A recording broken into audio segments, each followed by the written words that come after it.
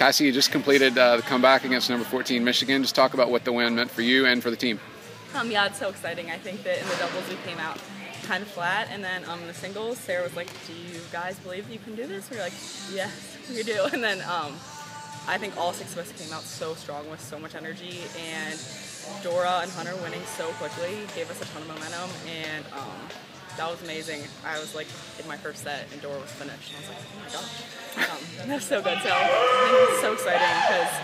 I think we've been working so hard, and we got a kind of rough start of the season, but like to see that it's all coming together, it's really awesome maybe an overlooked aspect of things, but what did it mean for Erica Susie to grind like she did on, on court five singles? Yeah, that's amazing. I think every match that we stay out on the court as long as possible, and for them not to get one point on the board um, easily in the singles, I think is amazing. Um, kept them from getting the momentum quickly, and I think she did an unbelievable job. And I think it was really fun playing out there. Her and I being the last two on.